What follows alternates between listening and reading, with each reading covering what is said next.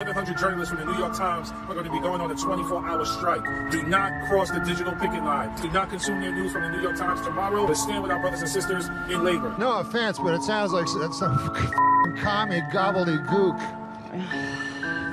You got me.